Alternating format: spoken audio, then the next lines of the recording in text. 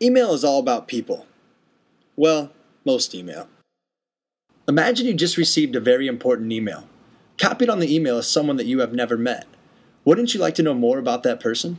Using the GIST gadget, we search the web to find a person's picture, work and contact information, latest updates from social networks like Twitter and Facebook, and search blogs and news for any recent information about a person. On top of that, we'll show you recent news and information about the company that person works for. Really, email is all about people. Use GIST to know more about everybody in your email. Now that you know a little more about Brad, confirm the connection by asking him to review his contact information using the Request for Profile feature. This will allow you to directly connect with Brad, letting him know that you want to build a relationship.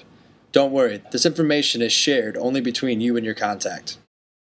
After connecting with Brad, you can use the Share feature to introduce him to friends or colleagues in your network. Remember, it is all about people. Get the GIST gadget in the Google Apps Marketplace or at GIST.com.